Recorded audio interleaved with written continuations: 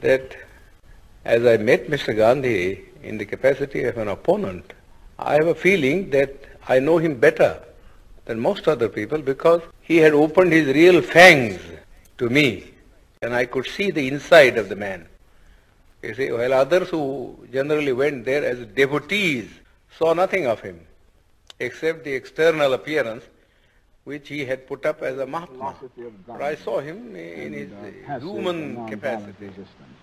I was so deeply moved by the message that I went away and bought several books on the Gandhian, uh, on Gandhi and Gandhian technique. And at that point, I became deeply influenced by Gandhi, never realizing that uh, I would live in a situation where it would be useful and meaningful. And actually used it in, actually would apply it. In yes. What you're listening to is just a tiny glimpse into an audio series called Contested Legacies.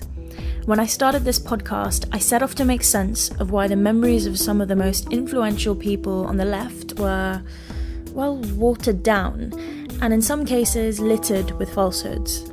Today, it isn't hard to walk down a high street and see Frida Kahlo's face plastered onto a gimmicky £9 keychain that reads, Free the Nipple.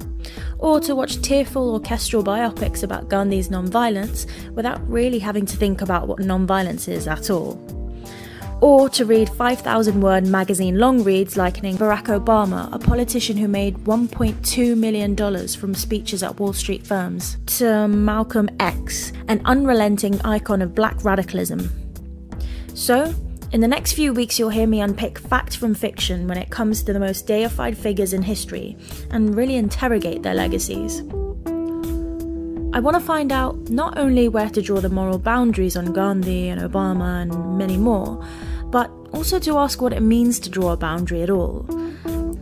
I don't want to just correct the record and tear down icons from pedestals, though that might be fun too. More than anything, contested legacies came to life so that I could explore why these people came to have such long afterlives, how their stories came to have so much political capital, and to understand which myths are being leveraged and for what ends. I'll be asking questions about why their legacies are sanitized, obscured, and in some cases, deliberately misunderstood. So, has Gandhian nonviolence been co opted by the right? Does Chavez stand in for all possible socialisms everywhere? And what does this all mean for the future of progressive movements? Six icons, six episodes. I'm your host, Husna Rizvi. Come March, you'll find the first episode of Contested Legacies on SoundCloud, Podbean, or wherever you get your podcasts. See you then.